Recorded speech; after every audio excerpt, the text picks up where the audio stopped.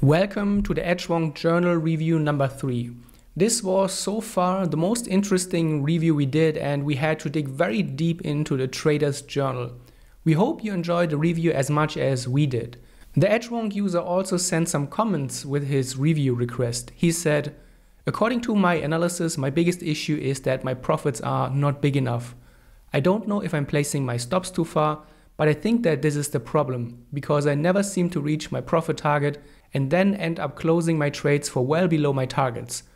I don't know what to do because my entries seem to be good. The trades seem to work well, but always reverse and never get to my targets.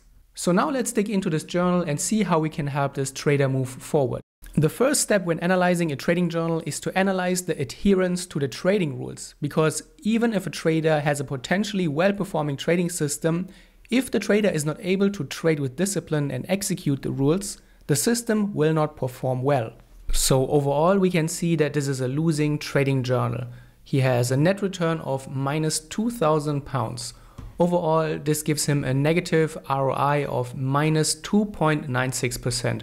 It's not a big drawdown, but it's definitely a losing journal. And let's see what we can find out about this journal and how we can help this trader move forward with the right action plan. To analyze the discipline, we can always go to our journal and we look at the tilt meter.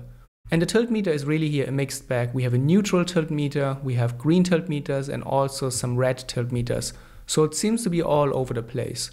To get a better idea, let's go to our equity graph and we activate the tilt meter here. This brings the tilt meter in the background.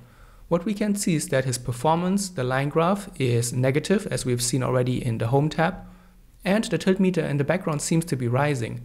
So this seems to indicate that although he's making more good than bad trading decisions and he's following his rules more often than not, his performance is still going down and he's still losing money.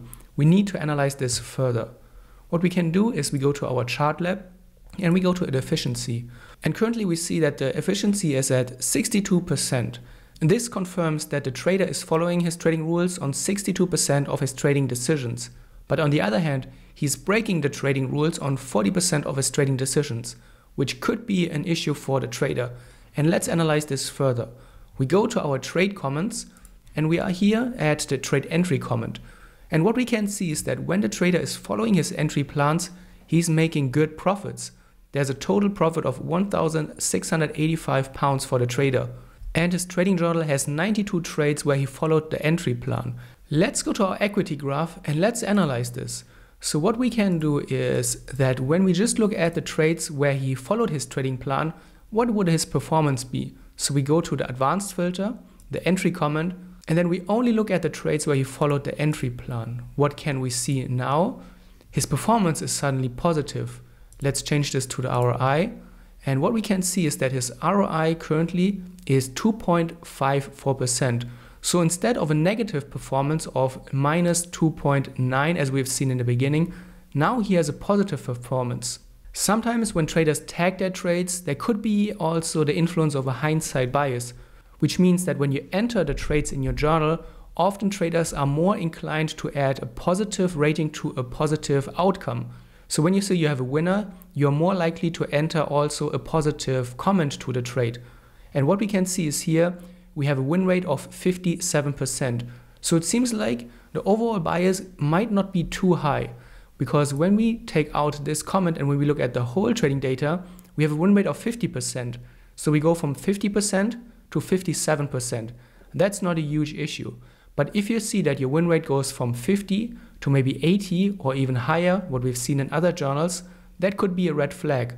And this could mean that you are giving your trades a good entry comment because you're looking at the outcome and you're not truly looking at the process. But in this case, this doesn't seem to be an issue. Just to be on the safer side, let's also add this comment, not sure, because there might be instances where the trader is not sure if the trade followed his trading plan, but let's count him into this. And what we see now is that we are still having a positive performance. Granted, the positive performance is much lower now, 0.69%, but overall, the trader is still making money compared to before. So this is a really, really important finding and we have to stress that. The trader seems to have a profitable strategy at the core. When he's following the trading rules, he is making money. And when he's not following the rules, he is losing money. That's a really important finding. And the difference in the performance is here night and day. He goes from losing to suddenly profitable trading when he's able to follow the rules.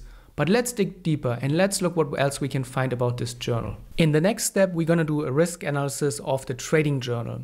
Here we want to check if the trader is over leveraging, if he's taking large losses, and if he has inconsistencies in his risk management. To analyze the risk, we go to our risk distribution and we can see this is a great graph. You don't have any outliers to the downside, you also don't have any outliers to the upside. So it means that all of the trades seem to be following a very steady and very rigid risk management plan. And his position sizing is spot on. There are no deviations from the position sizing as we can see here. All of the trades fall into this very narrow interval. And he doesn't have any outliers. So no problem with the risk management. That's a great finding as well, because it shows the trader is very on top of his position sizing and risk management game. Another common issue that many traders are struggling with is mismanaging of their trades. And when we talk about mismanaging trades, this typically means exiting winners too soon or closing losses too late.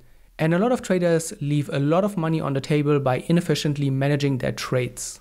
Now let's dig into trade management and how he places his trades with respect to take profit orders and also exits. And as we saw in the beginning, that's the question and that's the concern that the trader has. He's not quite sure what he should be doing, but he has a feeling that this is costing him the most amount of money and that's at the core of his trading problems.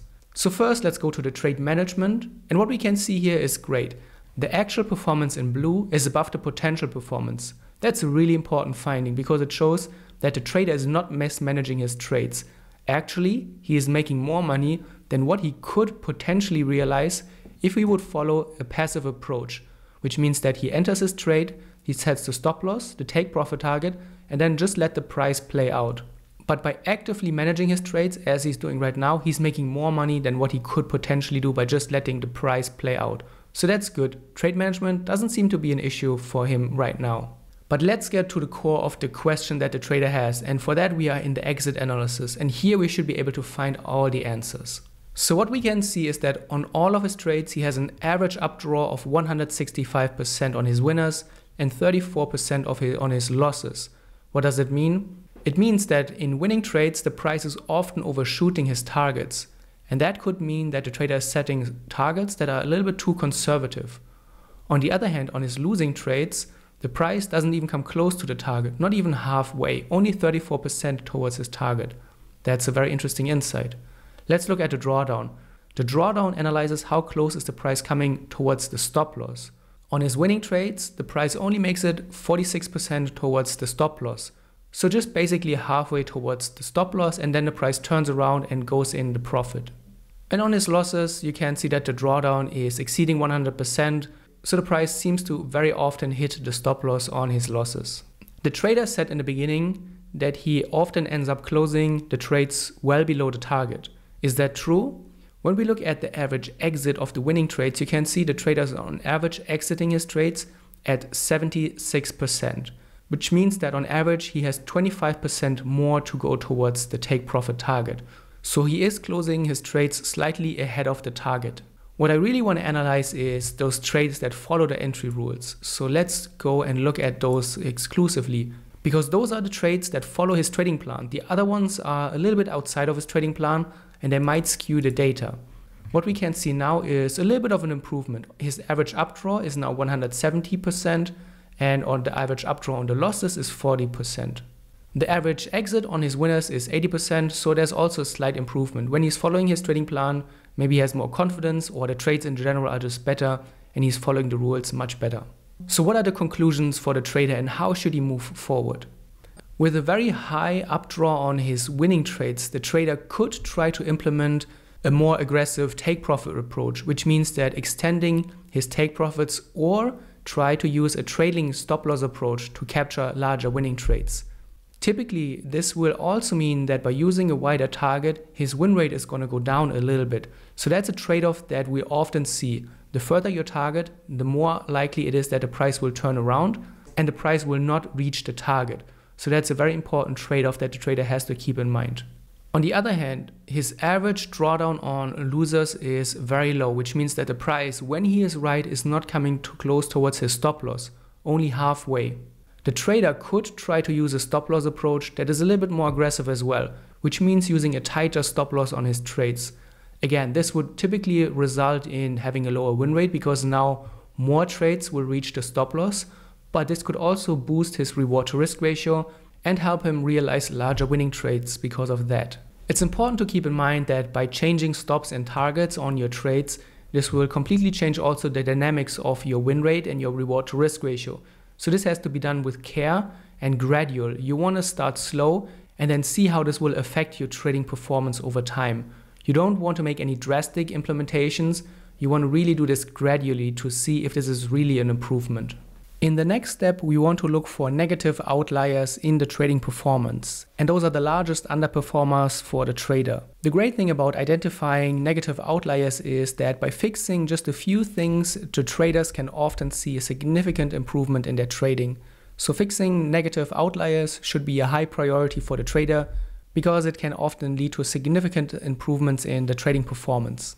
So we go to the chart lab and then we go to trade setups and first thing that really stood out here is that he has a lot of setups. He has a total of 23 setups that he trades. So that seems quite a lot. And what we have seen is that traders who have many different setups, many different strategies, and many different ways how to define an entry are often getting easily confused because they have so many things that they have to juggle in their minds at the same time. So many different rules, so many different parameters, and that might be mentally very tough for the trader.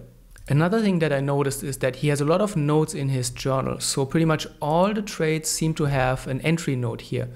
And by going through the different notes on the trades, what I saw is that he seems to not have a lot of confidence in his trades and he's often unsure about what to do and what the right thing to do is. And by looking at his stop loss and his take profit, I could have helped him already a little bit. But another thing to consider is maybe try to narrow it down. Focus on a few setups in the beginning. Don't try to spread yourself too thin and don't overwhelm yourself with too many rules, too many systems that you need to keep track of.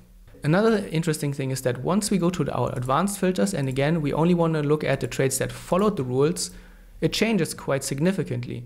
Now you can see his performance looks much better, and he has some setups that are really overperforming and are responsible for the majority of his winners. There are also a lot of setups where he almost doesn't have any trades. So maybe the trader can also consider to just remove a lot of the setups that he's trading right now and only focus on the ones that he feels comfortable with and that are making money currently. That will help the trader to streamline his process, to focus only on a few things and really become the expert in just a few setups instead of trying to master everything at once. And especially since the trader said that he doesn't seem to have an idea what is going on and he doesn't really have an idea of what to do, that could also help the trader with his confidence and his overall approach to trading. So, what is going well for the trader? I would say that overall, currently his performance is negative. He can be pretty confident about his trading. Again, when we just look at the trades that follow his rules, he would be making money and his performance is actually quite good, especially here in the last recent 40 to 50 trades. In the beginning, he traded a little bit all over the place and more around the break even, but then he seemed to pull it together and he made a lot of good trading decisions. In the recent past, he seemed to have topped out a little bit. I wouldn't be too surprised if this is also due to the overall confusion or the uncertainty that the trader is currently battling with. By removing the uncertainty and by having a more clear action plan on how to move forward, that could probably help the trader as well turn his trading around, trade with more confidence overall, and have a much clearer approach to his trading. And finally, we want to take a look at the progress the trader has made and whether he is on track and how his trading is developing over time. Looking back at how far you have come can often be a great confidence boost, and identifying the actual progress in your trading can help set new impulses and help you move forward with more confidence. Finally, let's look at his progress and we go to the report and then the monthly progress. And what we can see here is a breakdown of his trading performance by the different month. Something that really stood out right away is that in March, when he had the fewest trades, only 14 trades, he made a lot of money. This is the only month that performed positively. On all the other three months, he lost money. And fewer trades led to a much, much better performance for the trader. That stands out right away, and we have seen it in the last Trading Journal review as well. When traders make fewer trades, often their performance is much better. Out of curiosity, again, let's look at the trades only where he followed his trading rules. And what you can see is that three out of four months would now be profitable. Only in the current months he would still lose money overall. But you can see the other three months look great. He has a much better win rate and his average P&L is also very positive. March really stands out here with 12 trades where he followed his trading rules. The total profit is very high. The net return is 1.95%, a very high win rate. So the trader can focus on what he did there. Those are the trades that follow into the month of March, and that's what he should be doing. So let's sum this up. When we look at the initial comment of the trader in the beginning, we can see that definitely might be something to the concerns and to the opinions of the trader. He might be able to use stops that are a little bit closer, targets that are a little bit more aggressive. But this wouldn't be the first action step. And that's also probably not the thing that will help the trader make the most progress.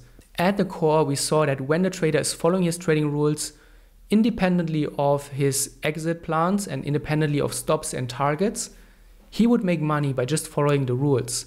His core system, when he's following his trading rules, is making money long term. And that is the most important finding for the trader. What we have seen with other journals is that traders might prefer to see that it's the strategy that is to blame. This will slightly shift the responsibility away from the trader and puts it on the system. And by just tweaking a few parameters, the traders believe that they can just turn their negative performance into a positive one. More often than not, and also in this case, we have seen that the problem seems to be the trader himself or herself. The trader is breaking his rules, which is responsible for the loss overall in his journal. If the trader would be able to follow the rules, he would be a profitable trader by now. Of course, it's much easier said than done to tell the trader just to follow his trading rules and stop breaking it. But when you look at the data and when you see black on white that actually you would be able to make money if you just follow the rules, we have seen this can give traders a lot of confidence to move forward. So this was a really interesting journal review. We were able to identify specific areas in the trading journal that are underperforming, some are overperforming, and we were able to give the trader a clear action plan to go forward. I hope you enjoyed the review. If you want us to review your journal in one of the next videos, go to edgewonk.com slash review. We look forward to hearing from you.